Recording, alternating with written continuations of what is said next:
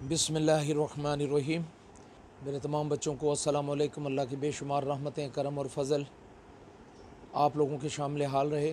پورا رمضان میں جو لوگ میرے ساتھ رہے اور انہوں نے اللہ کی محبت میں، اللہ کے پیار میں اور نبی پاک صلی اللہ علیہ وآلہ وسلم کے اس قول پر کہ جس کو رمضان کا مہینہ ملا اور اس نے آگے بڑھ کر اپنی بخشش نہ کروائی، اس شخص نے اپنی جان پر بڑا ظلم کیا۔ اور پھر پیارے نبی آقا دو جہاں حضرت محمد مصطفیٰ صلی اللہ علیہ وآلہ وسلم فرماتے ہیں کہ رمضان کے مہینے میں جن لوگوں نے عبادتیں کی ہیں، اس میں کوئی شک کی بات نہیں کہ ان پر اللہ کی رحمت، کرم اور فضل ہر حال میں ان کے شامل حال ہوگا۔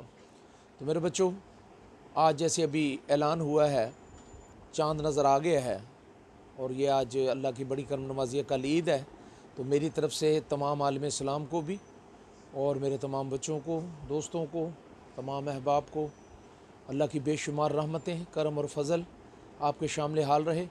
دعا ہے کہ ہم رمضان کے اس پاک مہینے میں جو باتیں کی ہیں، اس کو سنبھالنے والا اور اسی طرز پہ زندگی گزارنے والا بنائے۔ اس لیے کہ آنے والا وقت جو ہے، وہ ہمیں اچھا نظر نہیں آ رہا۔ جو لوگ اللہ سے محبت کریں گے، پیار کریں گے، انشاءاللہ وہ لوگ خیر و برکت دیکھیں گے، اللہ کی معاونت دیکھیں گے استانت دیکھیں گے۔ ایک بار پھر میں دعا کرتا ہوں۔ اور کہ اللہ تعالیٰ آپ سب کی حفاظت فرمائے، ناگہانی آفات، مصیبتوں، پریشانیوں سے اور ہر طرح کی ذلت رسوائی سے اور وبائی امراض سے۔ السلام علیکم ورحمۃ اللہ وبرکاتہ۔